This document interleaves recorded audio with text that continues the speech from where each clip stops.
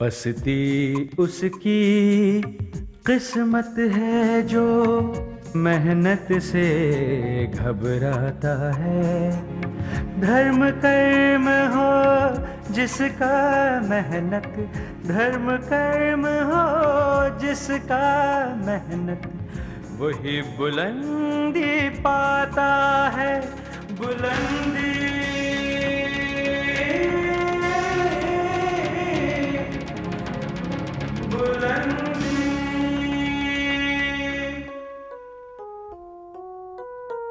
मेहनत चाँद सितारे, जुगनू मेहनत दीपक बाती। रस्ते की एक एक ठोकर हमको है ये समझाती मंजिल जिसको पग पग ढूंढे, वो किस्मत का विधाता है। धर्म कर्म हो जिसका मेहनत। धर्म कर्म हो जिसका मेहनत। वही बुलंदी पाता है बुलंदी। बुलंदी। ये देखो ये है नए मास्टर साहब। भाई ये राम प्रसाद कहता है पढ़ने के लिए तो पढ़ लो। लेकिन सच बात ये है कि भाई अकेले में मेरे से अब काम नहीं होता। अरे बेटा सो क्यों रहा? चल काम कर। मौसी क्या हमेशा वो ही करना पड़ता है जो हमारे बाप करते हैं? मेरा कहा मानो तो इस लड़की की बात बस कर दो। कब तक जान जोखिम में डालोगी? लेकिन मैं स्कूल जाके पढ़ता तो हूँ ना। तो मास्टर जी मिले थे। कह रहे थे मुश्ताक आजकल स्कूल नहीं आता है बीमार पड़ा है ऐसा कह रहे हैं। ना भाई ना बीमार बीमार कुछ नहीं है। ये कोई स्कूल स्कूल नहीं जा रहा? ये वो मोहल्ले के बच्चों के साथ ताश खेल रहा है? किस्मत ने उसे जहाँ लाके बिठा दिया है वो उसकी जितनी जल्दी आदत डाल ले के लिए अच्छा है। आप दादाओं ने जो नाम कमाया उसे ही बचाए रखो वो ही काफ़ी है। फूल सिंह बहुत पढ़ता है। डिप्टी तो बन ही जाएगा। उस्ताद की शादी के बारे में आपका क्या कहना? अरे ये क्या कहेगी? ये तो इस उम्र में खुद आई थी यहाँ पर है?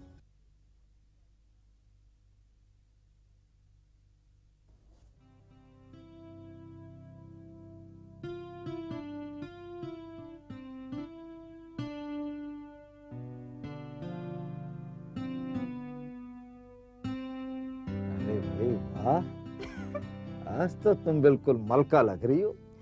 घड़ी भर के लिए सही मलका बन के देख तो लू कैसा लगता है। अरे भाई घर में बहू आ रही है। क्या करोगी सास बेगम? मेहरू बिटिया बड़ी भली बच्ची है। मैं सास न बनूँगी अम्मी ही भली। और ऐसे भी मुझे सास बनना कहाँ आता है? राम प्रसाद ठीक ही कह रहा था। बच्चे हैं अभी छोटे। बात किए पीछे सोचा ना करो तुम। भाईजान ये भी तो कहते थे कि अपने साथ भाग लेकर आएगी वो। अरे वो तो ठीक है। लेकिन हमें भी तो कुछ चढ़ाना पड़ेगा ना। भाई कुछ तो करना पड़ेगा। उन्होंने तो ये जंजीर चढ़ा दी। हम इसी को गढ़वा लेंगे फिर से। एक अंगूठी तो निकल ही आएगी। और मेरे बूंदे हैं वो मैं उसे दे दूँगी। तुम्हारे पास कान के बूंदे हैं? हाँ। बरसों पहले मैंने भाईजान के पास रखवा लिए थे। इसी वक्त के लिए शायद अब काम आ जाएँगे। हम लोग क्या इन्हीं चीज़ों के लिए बने? काम चलाओ और वक्त निकालो। पहले इस जंजीर को गलाओ उसकी अंगूठी बनाओ उसको गलाओ फिर कान के बुंदे बनाओ। गलते गलते खत्म है? अब छोड़ो इन बातों को। तुम्हारी भी चार चार बेटियाँ हैं। कल को हक मांगने खड़ी हो जाएँगी। जो कर सकते हो जल्दी से करो। अगर हमारे पास और कुछ होता तो इसे हम वहीदा को दे देते। अरे क्या तुम पागलों जैसी बातें कर रही हो? अरे अभी एक महीने पहले तो उसने चलना शुरू किया है और तुम शादी रचाने की बात कर रही हो? अच्छा जी अपनी बेटी है तो बच्ची है। हम क्या ऐसे ही टपके थे? अरे वो तो ठीक है। लेकिन सकीना हम लोगों को कुछ सोचना चाहिए। हम भी छोटे छोटे बच्चों को ऐसी बाँध देते हैं। अब सोचना वोचना छोड़ो। ये कुछ फल और मिठाई है। ले जाके फूल सिंह भाईजान और ज्योति के वहाँ दे आओ। अरे छोड़ो घर में बच्चों को खिलाओ। देखो जी दुनियादारी नाम की भी कोई चीज़ होती है। होती है कि नहीं? अब वक्त बे वक्त यही लोग तो काम आते हैं हमें। हाँ वो तो तुम ठीक कह रही हो। ये हमारे मुश्ताक मियाँ को तो उसकी संगत ने चौपट कर दिया। देखें अब बहू संभाल ले तो। अच्छा है। क्यों? तुम्हें मैंने इतने सालों तक नहीं संभाला?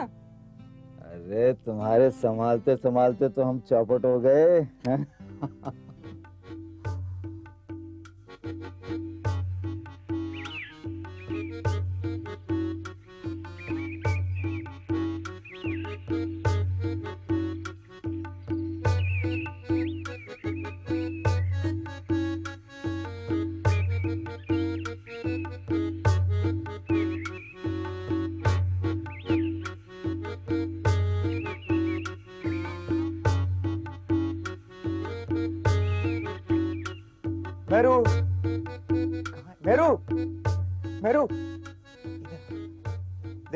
मैं तेरे लिए क्या लाया हूँ? क्या लाए देख ना। हाय आपको कैसे पता कि मुझे ये पसंद है? ले तूने तो उस दिन बाज़ार में बताया था मुझे। मुझे सब मालूम है तुझे क्या क्या पसंद है। सच मेरू मैं दिन भर तेरे बारे में सोचता रहता हूँ। आप दिन भर मेरे ही ख्यालों में रहते हैं? या कुछ काम भी करते हैं? करता हूँ ना पर मेरी आँखों में तू ही तू बसी रहती है। तब तो कल मुझे काठी पे आकर देखना पड़ेगा कि आपने कितना नुकसान कर रखा है वरना कल को बिचौलिए। आके टपका गलत गिनेंगे और बेकार में मेरा नाम बता अरे हाँ हाँ आकर देख लेना। ये मुश्ताक रिजवी के हाथ है। मैं जो कालीन बनाता हूँ उसमें कोई माइका लाल आकर टपका गलत या दम फटा निकाल दे तो मैं अपना नाम बदल दूँगा। और मेरा नाम रख लोगे। जाओ जाओ सारा ध्यान तो काम में रहता है। कहने को तुमसे बहुत प्यार करता हूँ। देख लिया तुम्हारा प्यार। पर मेरू मैं ये सब तेरे लिए ही तो कर रहा हूँ ना। ए मेरू मैं चाहता हूँ कि मैं तेरे लिए एक ऐसा कालीन बनाऊँ जिस पर तू महारानी की तरह रहे। और वैसी?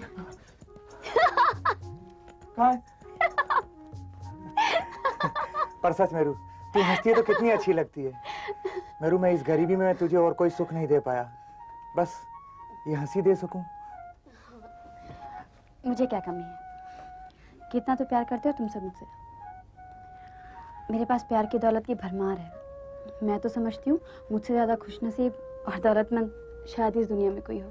नहीं मेरू मैं चाहता हूँ दुनिया का हर सुख तुझे मिले। अपना एक बड़ा सा मकान हो जिसमें तू महारानी की तरह रहे। दस पंद्रह नौकर तेरे आगे पीछे घूमते रहें। तेरे तेरे बदन पे गहने लदे हुए हों। हम्म, तुम तुम महारानी की तरह घूमती रहे अपना बड़े से बड़े से बगीचे में। तेरी हर तमन्ना पूरी हो जाए। मिठाई तो बड़ी अच्छी है। मेरे लिए लाए थे और खुद खा गए ले तू भी खा।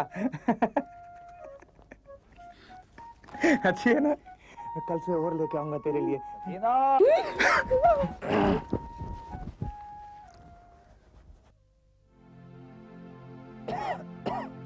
यार कासिम कल जब मैं बस में आ रहा था तो वहीदा के गाँव के कुछ लोग मुझे मिले थे। वो बता रहे थे कि वहीदा की हालत अच्छी नहीं है। उसके मर्द का चाल चलन भी ठीक नहीं है। उनकी बातें सुन के मुझे तो डर सा लग रहा है अजीब से ख्याल आ रहे हैं। देख राम प्रसाद शुरू शुरू में हर लड़की को ससुराल में थोड़ी बहुत तो तकलीफ़ उठानी पड़ती है। और फिर दुनिया में कौन सा ऐसा मर्द है जिसमें कोई खोट नहीं? और फिर वहीदा को भी धीरे धीरे उस घर की आदत पड़ जाएगी। सब कुछ ठीक हो जाएगा। कैसी बातें कर रहा है यार तू? आँख बंद कर लेने से तूफ़ान अपना रास्ता बदल देता है क्या? पता नहीं वहीदा के साथ कैसा सलूक कर रहे होंगे मार पीट रहे होंगे, क्या कर रहे होंगे, तुझे क्या पता है? अरे जाकर एक बार देख तो आप बच्ची को। वहीदा को अच्छा लगेगा और हमें हकीकत का पता भी चल जाएगा मेरे पास इन सब के लिए वक्त नहीं है। वक्त नहीं है वक्त नहीं है। याद है तुझे? हमारी वहीदा छोटी सी थी। रोने लगती थी। तो कंधे पर बैठाकर उसे चुप कराने के लिए घंटों लेकर घूमता रहता था तू। अब उसकी दर्द भरी चीख भी तुझे सुनाई नहीं दे रही। है? कैसा अजीब आदमी है यार तू। वहीदा का मासूम चेहरा अपने नज़रों के सामने ला तेरे कदम तुझे खुद वहाँ ले जाएँगे। राम प्रसाद तेरी बातों को सुनकर कई बार लगता है कि अल्लाह मियाँ किसी को लड़की दे ही ना। अरे कौन से जमाने में जी रहा है यार? कैसी बातें कर रहा है? लड़कियाँ दुनिया चला रही पढ़ लिख गई हैं कितनी आगे बढ़ गई हैं। अरे फिर राज- तूने पढ़ाई का भाषण शुरू कर दिया। ठीक है यार मुझे तो पता है भैंस के आगे बीन बजाने से कोई फ़ायदा नहीं है। लेकिन एक काम कर, हम पर रहम कर। मेहरबानी कर यार एक बार, सिर्फ़ एक बार। वहीदा को देखा। ठीक है? ठीक है। तू कहता है तो मैं कल ही चला जाऊँगा।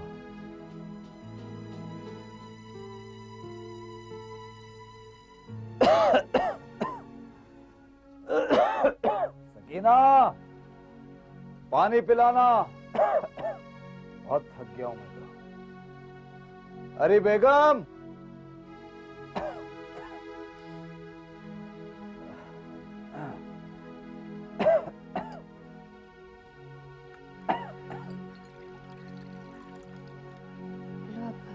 अरे दुल्हन तुम अम्मी कहाँ है? जी वो काठी पर हैं। अरे ये अकेली भी काठी पे बैठी रहती है। अब्बा हुआ है वहीदा बाजी के घर से। वो ठीक तो हैं? आपको क्यों बुलाया था? अब बेटा। क्या बताऊँ? बहुत तकलीफ़ में है वहीदा। अब तो उसके मियाँ ने हाथ भी उठाना शुरू कर दिया है। कम वक्त कहीं का। सच पूछो, कई बार लगता है कि हमने उसे कुएँ में धकेल दिया है। बहुत रो रही थी वो। बेटा एक बात बता। तू तो तो यहाँ खुश है ना? जी अब्बा। अल्लाह का शुक्र है। बस बेटा खुश रहो। जा। और जाकर अम्मी को बोलना मैं आ गया हूँ। जी। पता नहीं मेरे बच्चों को और कितनी तकलीफें सहनी पड़ेंगी। काश के मैंने राम प्रसाद की बात को मान लिया होता, है?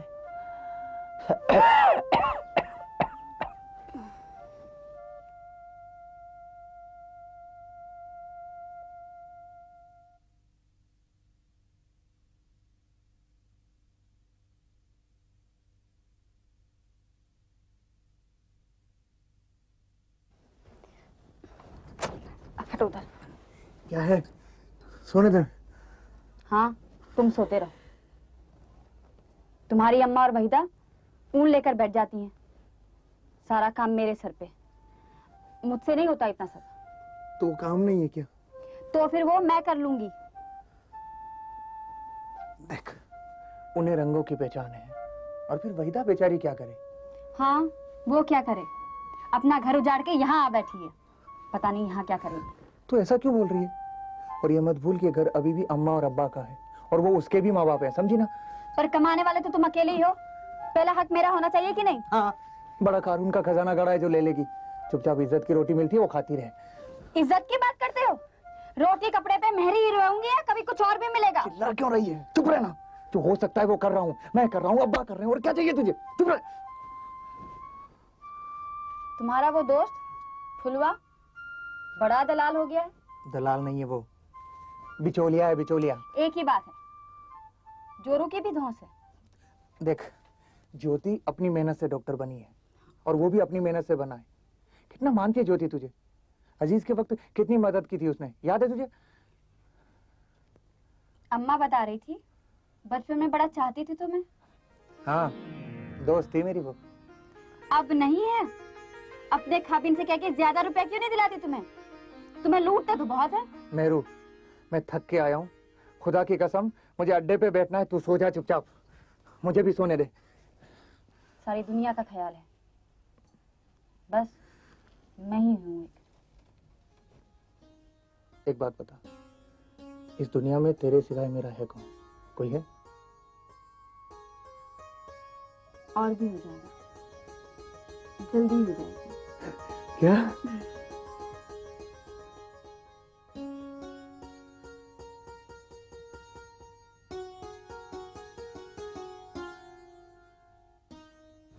भाई मेहरू को भी देख लिया। चाय की तलब लगी है। अम्मी जरा चाय का पानी चढ़ा देना। ज्योति तुम इतनी बड़ी डॉक्टरनी होकर भी गाँव में बसी हो वरना हमारा क्या होता? भाभी कैसी हैं? ठीक है थोड़ी कमज़ोर है। मैंने कहा है उसे अपना ध्यान रखने के लिए। वो खुश तो रहती नहीं तो पनपेगी क्या? हो जाएगा सब ठीक। मुश्ताक को इनके पास भेजना एक बहुत बड़ा ऑर्डर आने वाला है। तुम लोगों का साथ होगा तो हासिल भी हो जाएगा। अल्लाह बहुत बहुत दे तुम्हें और फूल भाईजान को। उनका काम चल निकला है ना? हाँ और साथ में मनसुखानी जी का भतीजा है। अरे मुश्ताक ने तो पता दिया था उसका। अमेरिका में बहुत पहुँच है उसकी। काम तो चल पड़ा है। हाथ पाओ तो भाईजान भी मारते हैं पर कहीं पहुँचते ही नहीं। चार कदम आगे तो दो कदम पीछे। अब एक और जिम्मेवारी हो जाएगी। सब ठीक हो जाएगा कहा ना? तुम फ़िक्र मत करो। ये सुन सुन कर तो बचपन गुजर गया। भाईजान मायूस होते हैं तो बर्दाश्त नहीं होता ज्योति। बस पढ़ाई ना कर पाने का चक्कर है वहीदा। दुनिया पढ़ाई के सहारे कहाँ की कहाँ पहुँच गई? उस टाइम मुश्ताक पढ़ लेता तो कुछ बन गया होता। कोशिश तो की थी भाईजान ने। नहीं वहीदा कोशिश और करनी होगी। तुम लोगों का काम रंग नमूने और दिखावट इतनी बढ़िया है इस इलाके में और है ही नहीं। ऐसी गरीबी भी तो और नहीं है कहीं। मुझे तो डर लगता है भाईजान घबरा ना जाए। नहीं नहीं। तुम्हारे मुश्ताक भाई बहुत हिम्मत वाले हैं। जाओ चाय लेके आओ। लाती हूँ।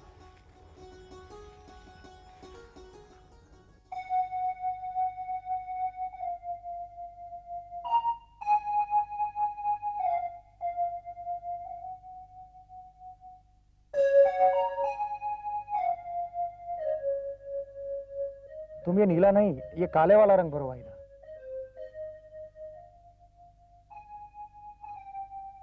अच्छा भाईजान। और ये देखो कैसा बना है? अच्छा है बहुत अच्छा है। तुम जाओ भाईजान भाभी नाराज़ हो रही होंगी ये मैं कर लूँगी। तुम बुरा मत मानना है? बुरा क्यों मानने लगी? मुसीबत तो बनकर आ ही गई हूँ ना। आरिफ भाई का कुछ पता चला? कहीं धारान कोई जगह है सुना है दोनों हाथों से पैसा कमा रहे हैं। अजीब आदमी है। तो तुम्हें तलाक क्यों नहीं देता? क्योंकि घर छोड़कर मैं आई थी। उस छमक छल्लों के नखरे मुझसे बर्दाश्त नहीं होते। अगर मैं पसंद नहीं थी तो यहाँ आए क्यों थे? वहीदा एक बात बताऊँ। तुम्हारे और अम्मा के हुनर को कोई पहचानने वाला ही नहीं मिला।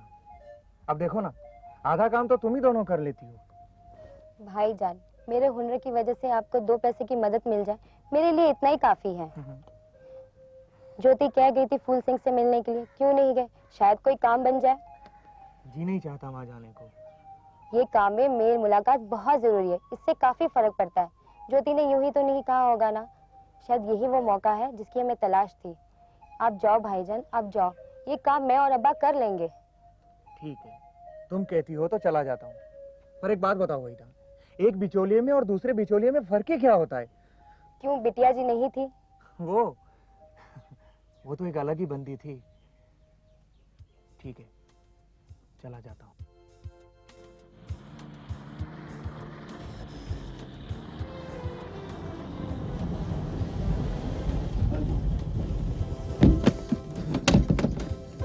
अस्सलाम वालेकुम डॉक्टर साहिबा। ये मुश्ताक तुम कब आए? दो घंटे हो गए मुझे आए हुए। अच्छा एक बात बताओ तुम घर में भी रहती हो या बाहर ही घूमती फिरती हो? जब आओ जब तुम्हारा दरवाज़ा बंद मिलता है। अरे हुजूर आप अपनी आदत से मजबूर और हम अपनी आदत से मजबूर। अरे कम से कम फ़ोन तो कर लिया करो आने से पहले। लेकिन नहीं तुम्हें तो इंतज़ार करने में मज़ा आता है। दो घंटे हो गए मुझे इंतज़ार करते हुए। हाँ ज्योति इंतज़ार तो मेरे नसीब में लिखा हुआ है। पता नहीं कभी कुछ होगा भी या नहीं। कम से कम इस प्यासे को कोई एक गिलास पानी पिला दे। अरे पानी तो क्या मैं खाने को भी देती हूँ। चलो ऊपर चलो। आ जाओ। बोलो क्या खाओगे? नाश्ता करवाती हूँ पहले। नहीं मुझे जल्दी लौटना है। हम्म। ज्योति फूल कब आएगा? अरे पता नहीं। फ़ोन करके देखती हूँ। तब तक तुम नाश्ता तो कर लो। चाय लोगे या ठंडा? देख तेरे दरवाजे पर बैठे बैठे वैसे ठंडा हो गया हूँ। मुझे तू एक चाय पिला दे वो भी कड़क बस। अरे अजीब मेहमान हो। एक तो खातिरदारी करो ऊपर से काट खाने को दौड़ते हो। काट खाने को दौड़ते हो। तुम तो खातिरदारी भी तो ऐसे ही करती हो ना? हर वक्त चीखती चिल्लाती रहती हो। क्या खाओगे क्या पियोगे? भाई जो खिलाना है पिलाना है सामने लाकर रख दो। इसमें इतना दिखाने की क्या ज़रूरत है? अरे मुश्ताक तुम्हें नहीं पता जब तुम आते हो तो मुझे कितनी खुशी होती है। लगता है मायके से कोई आ गया हो। क्या कुछ करने को दिल नहीं चाहता तुम्हारे लिए? मगर तुम? ठीक है अब तुमसे कुछ नहीं पूछूँगी। सारा का सारा सामान लाके तुम्हारे सामने रख दूँगी। सारा खाना होगा तुम्हें। चुपचाप समझे? हाँ हाँ समझ गया। अब तू जा लेके तो आ पहले। हाँ हाँ लेके आती हूँ। बिल्कुल नहीं बदली है। वही की वही छोटी बिटिया सी। डॉक्टर नहीं हो गई है मगर अकल। वही बचपन जैसी चीखती चिल्लाती रहती है ए, क्या बड़बड़ा रहे हो तुम कर रहे हो क्या? हाँ हाँ तारीफ़ ही कर रहा हूँ तेरी मैं। अच्छा घर में सब कैसे हैं? ठीक है जैसे थे वैसे ही होंगे। ज्योति हाँ।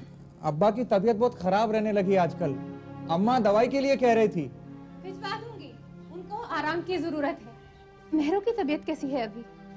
कैसी होगी? जैसी थी वैसी है। वहीदा को लेकर अपनी और मेरी दोनों की जान जलाती रहती है। हाँ रे। वहीदा के बारे में सोचकर तो बहुत ही दुख होता है। लेकिन बहुत हिम्मत वाली है वो लड़की। वैसे तो तुम्हारा पूरा खानदान ही हिम्मत वाला है। और सुन, मेहरू से डांट डपट मत किया कर तू। अरे, उसकी उम्र ही क्या है अभी? कितने ख्वाब होते हैं लड़की के मन में शादी के बाद। लेकिन वो बेचारी काम के बोझ के तले दबी हुई है। उसे भी प्यार और हौसला चाहिए। हाँ वैसे ज्योति मेहरू बुरी नहीं है। दिल की बहुत अच्छी है वो। लेकिन क्या है ना कभी कभी उसका दिमाग फिर जाता है। तब वो मेरी और अपनी दोनों की जान खाने लगती है। हाँ वो तो होगा ही। तुम्हारे साथ जो रहती है तुम्हारी संगत का कुछ तो असर होगा ही। सुनना बिस्किट खा ले। नहीं खाने। चाय बन रही है मैं लेके आती हूँ। अच्छा बाई आ रही है। झट से खाना बना देगी। क्या फिर खाएगा? फिर खाना पिलाना मुझे कुछ नहीं खाना बस खा लेना बिस्किट तो। अब तू कहती है तो खा लेता हूँ ला दो घंटे से वैसे भूखा हूँ। Very good Hello. Yeah. Yeah. Okay. Don't don't worry. Don't worry. The order will be done on time. Okay. Bye. William साहब अगर ये ऑर्डर जल्दी से पूरा हो गया तो अगला ऑर्डर भी जल्द से जल्द मिल जाएगा हो जाएगा मैं आज ही गाँव जाता हूँ और मुश्ताक से कहता हूँ कि काम पे डट जाओ बस गुड उसकी भी किस्मत खुल जाएगी अरे यार उसको कब का कहा है आने के लिए लेकिन अभी तक नहीं आया वो अच्छा एक बात बताओ ये विलियम पाँच कालीनों के कितने पैसे दे रहा है इस बार ये कुछ फाइनल नहीं हुआ है यही कोई ढाई तीन कुछ ऐसा ही तू चिंता नहीं कर तेरे को तेरी कमीशन मिल जाएगी। अब बिज़नेस में सब बातें पहले क्लियर करना ठीक रहता ना यार। अब बिज़नेस तो विश्वास भी होता है ना। हाँ ज्योति बोलो। अरे ज्योति तुम उसको रोक के रखो। मैं बस अभी आ रहा हूँ। मैं पाँच मिनट में यहाँ से निकल रहा हूँ बस। हाँ ओके ओके बाय अरे मुश्ताक घर पे आ गया है। फरिश्ते का नाम लिया और फरिश्ता हाजिर। वेरी गुड वेरी गुड हमारे लिए तो फरिश्ता ही है उसी की बदौलत हम हम हैं। तू एक काम कर तू ये दस हज़ार रुपए ले उसको दे जल्दी से काम शुरू कराओ। एक महीने के अंदर दूसरा ऑर्डर भी हाथ आता हूँ। हम सबके बारे न्यारे होने वाले हैं। ठीक है ओके। ओके अच्छा सुन तू उसको पाँच कारपेट के कितने पैसे बोलने वाला है? बीस पच्चीस हज़ार रुपए से ज़्यादा मत बोलना। बीस पच्चीस हज़ार ना? अरे यार तुम उसकी चिंता क्यों करते हो? उसको तो मैं दूँगा ना अपनी कमीशन में से और तुम मुझको? अच्छा सुन ये सारे पैसे उसको मत दे देना। पाँच हज़ार अपने लिए बचा लेना हम बाद में अकाउंट कर लेंगे। ठीक ओके ओके, चल बाय ओके बस अब तो सही तरीके से काम शुरू हो जाए। सारी मुश्किलें दूर। पैसों की बात तुम खुद ही कर लेना उनसे साफ़ साफ़ आने ही वाले हैं बस। मैं हाँ मैं कर ज्योति वो खुद ही कर लेगा ना जो करना होगा। फिर फिर तू तो है ही ना मेरे साथ। बस यही बात। एक कॉन्फिडेंस ही नहीं है तुम में। अपनी मेहनत का मूल्यांकन तुम खुद कर ही नहीं सकते हो। तुम ही करोगे बात। आ गए वो आ गए। मुश्ताक! मुश्ताक! अरे भाई कहा हो? आ गया अरे यार क्या कहूँ मैं भी तुम्हें? अब ज्योति ने तुम्हें कब की खबर की है? और तुम हो के आ जा रहे हो। नहीं फूल मैं कब से आने की सोच रहा था। बस तुम सोचते रहो। पूरी ज़िंदगी भर बस तुम सोचते रहना। काम हाथ से निकल जाएगा और तुम बैठ के बस सोचते रहना यहाँ पर। अरे इतने गुस्से में क्यों हो तुम? मैं क्या कम हूँ उसे डांटने के लिए जो तुम पिल पड़े उस बेचारे पे? अच्छा क्या सचमुच काम हाथ से निकल गया? ये ना बेचारा बेचारा नहीं है। इतना बड़ा काम हाथ से निकल गया होता अगर ये आज ना आता है। अरे तुम्हें मालूम है रवि को कितनी जल्दी है इस ऑर्डर को पूरा करने की?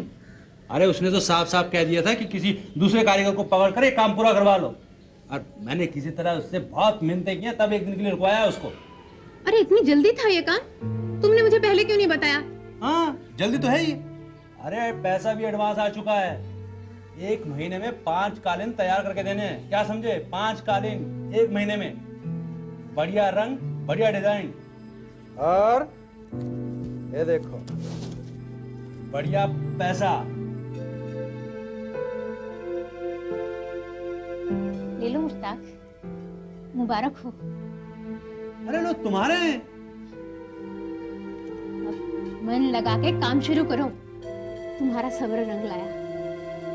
अरे मुझे तो पता ही नहीं था कि हमारे मुश्ताक के आँसू मुस्कुराते हैं और इतना अच्छा मुस्कुराते हैं। फूल ज्योति मैं तुम लोगों का शुक्रिया किस तरह से अदा करूँ? बस शुक्रिया ही तो अदा कर सकता हूँ मैं। सचमुच इतने सारे नोट ज़िंदगी में पहली बार देखे हैं मैंने। अरे यार क्या करता है तू हाँ? अरे दोस्ती में कैसा शुक्रिया वुक्रिया अरे तू काम करके देता जा फिर देख क्या होता है हाँ। अच्छा ये तो बताओ पाँच कालीनों की कितनी कीमत मिलेगी मुश्ताक को? अरे मिल ही जाएगी कुछ ना कुछ तो मिल ही जाएगी। अरे एक कारीगर तो पंद्रह हज़ार रुपए में पाँच कालीन देने को तैयार था। और बस मैंने भी मन सुखानी भाई को तुम्हारी तरफ़ से इतने पैसे में हाँ कर दी। फूल पंद्रह हज़ार? एक महीने में पाँच कालीन उम्दा क्वालिटी के तो मुश्किल से बनेंगे ना मेहनत भी लगेगी। कम नहीं है पैसा। फूल तुम तो जानते हो ना एक कालीन बनाने में कितना खर्चा आता है। फिर तुमने हाँ क्यों कर दी? कितनी मेहनत लगेगी पाँच कालीन बनाने में। अरे तुम परेशान क्यों होते हो यार? देखो उस वक्त तुम्हें काम दिलवाने के लिए मैंने हामी भर दी थी। अब सोच लो तुम्हें तुम समझ लो कि तुम्हें बीस हज़ार रुपए तो मिल ही रहे हैं ना। अरे पाँच सौ हज़ार इधर या उधर। अरे तुम फ़िक्र क्यों करते हो? मैं हूँ ना। अरे हम तो तुम्हारे और कासिम चाचा के हुनर के दीवाने हैं। बस तुम्ही लोगों का तो आसरा है हमें फूल। बात पाँच सौ या हज़ार की नहीं है फूल। अटकी सुई अरे श्रीमती जी काम तो शुरू हो जाने दो। फिर देखो पैसा कहाँ जाएगा? यही आएगा। क्यों मुश्ताक? हाँ फिर तुम खुद अकेले फैसला थोड़ी कर सकते हो। रवि मनसुखानी साहब भी तो है ना उनकी बात भी तो माननी पड़ती होगी तुम्हें। देख लो। यार तुम कितने समझदार हो। और ये देवी जी यार मैं कभी कभी सोचता हूँ ना कि बगैर पढ़े लिखे लोग भी भले हैं। हर एक चीज़ को बहुत जल्दी समझ आते हैं। और ये पढ़े लिखे लोग बाप रे बाप एक बार सुई अटकी तो फिर भगवान ही मालिक। हाँ। अटक गई सुई। मुश्ताक हर इंसान का फ़र्ज़ है ये मेहनत से जीन चुराए। मेहनत कश अपने कदमों पर सूरज को भी झुकाए। आंधी और तूफ़ान में भी जो ज्ञान का दीप जलाता है। धर्म कर्म हो जिसका मेहनत, धर्म कर्म हो जिसका मेहनत, वही बुलंदी पाता है। बुलंदी